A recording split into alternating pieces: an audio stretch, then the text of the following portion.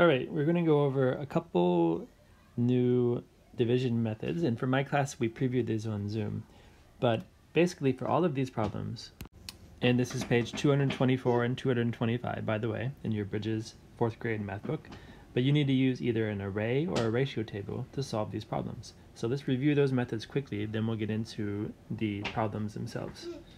So let's get some space. And we'll go with the array method first, and we're going to do 468 divided by 3. And here we're basically making a little series of rectangles, not one rectangle, to get us up to 468. I'm start with numbers that are easy for you. So I'm going to do 3 times 100 first. That will give me 300. Okay, I can't do another 100. That's going to be too much. So why don't I do half of that, which would be 3 times 50. And now I'm up to 450. So now I'm thinking, how much more do I need to get to 468? Well, I need 18 more. So now, 3 times what would give me 18? And that's a basic fact that we know. And now I just add up my rectangles and I have the answer, just like that. So that's the array method. And now let's go over the ratio table. And we've done ratio tables before like this, but we're gonna make actually a horizontal ratio table.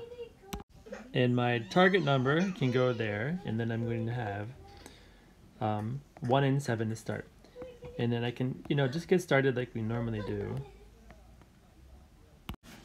But I'm not going to go one by one all the way till I get to 252 I'm going to skip some steps. So if I can go from 3 to 30 now I have 210 and you can see I'm getting closer so if I were to do 33. So for 33, I can put those together and now I'm getting closer. And then what would I need? I would need another 21. So if I did 36, then I'm going these two together and now I've got it. So the answer to this is 36. So that's how the ratio table method works. So let's get into these uh, problems over here. And we're talking about rectangles here in 693 and 7 meters wide. So this is what it looks like. In the equation I put called the side S for side is going to look like this. And now this looks like a tricky problem, but it's actually very simple. I'm going to show you how to use a ratio table here. Okay, so we'll start like this, um, but I'm actually going to overshoot it a little bit. I'm going to go all the way up to 100, and that would be 700. But look how close I am now. If I do 700 minus 7, or 100 minus 1, I'm already at the answer, right? So I can see this is going to be 99. Done. That's how quickly you can do it if you're just thinking about what you know about numbers. Okay, so let's do a couple here. And I'll go for the array method here. So we have this as our equation. And for my array, I can go straight to 7,000, right? I've got 7,000 there. And then I'm going to make some smaller uh, rectangles to get myself up to 7,147. So what if I did, okay, 10 would give me 70 and then there's another 70 and that's giving me 140 right? So I'm already up to 7,140 and I only need seven more. So I would just do one small triangle to get that last seven in there and again you don't you can draw your triangles larger the scale doesn't matter so much as the answer but now the answer is going to be add those up 1000 plus 10 plus 10 plus 1, and that's your answer. Okay, let's go ratio table for this one. Oops, uh, that should be 1 and 7 to get started. And I'm kind of looking over here and seeing what I've got. I'm going to skip ahead to 5.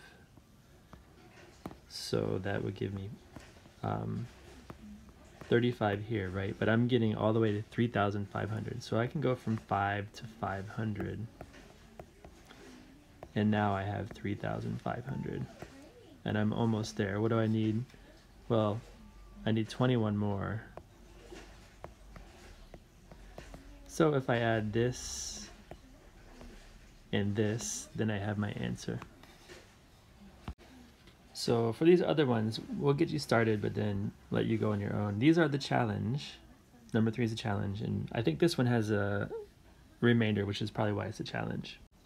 And I'll just go back and forth. I'll do an array for this one. So um, as I'm doing this, I'm thinking, how can I get close to 340? I know 8 times 4 is 32, so I'm going to go 8 times 40, and I'm already at 320 and I have 20 more to go, right? But I can't get 20 more.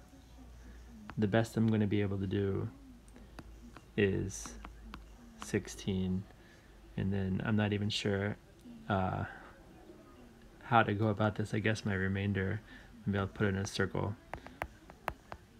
I'm going to have 4 as a remainder, and then the answer would be uh, add those, and then you've got a remainder.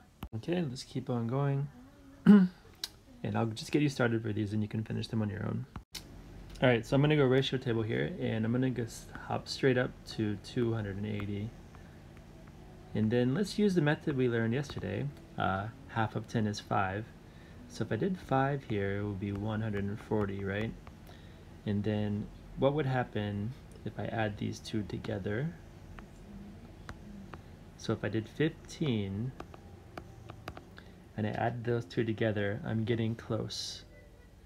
So I'm to let you try to finish that on your own. But basically add those together, add these two together, and you're to get this number somewhere in your 400s, and then figure out how many more you need to get to 476. And finally, I'll get you started down here too. Let's do an array here, and I'm to go by 10.